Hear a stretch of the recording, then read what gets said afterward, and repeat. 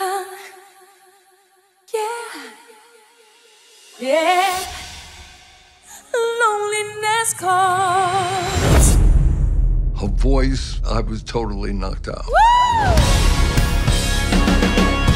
Oh, you missed something if you don't see her live.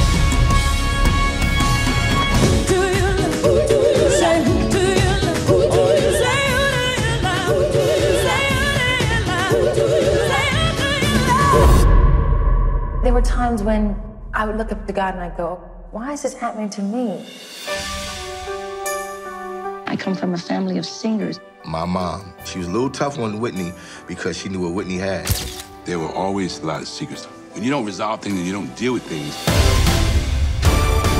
they never go away. Share my life. Tell me about Robyn Crawford. Robyn was her safety net. Bobby was jealous. His heart was he wanted to be on the stage, he wanted to be in the forefront. And eventually, she stepped down to lift him up. People think it's so easy, and it's not. You got class, you got the right. Now, one thing, Paula Abdul ain't shit. That girl is singing off key on the record. I don't really need to look.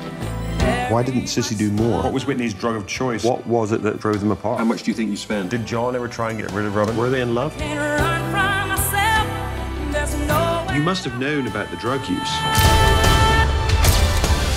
I never knew there was any addiction.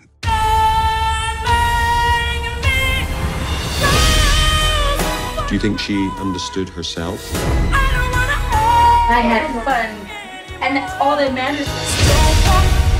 Hearing her sing the Star Spangled Banner, she made people proud that they were Americans. Don't you dare walk away from me. I love you, Whitney. I have nothing, nothing,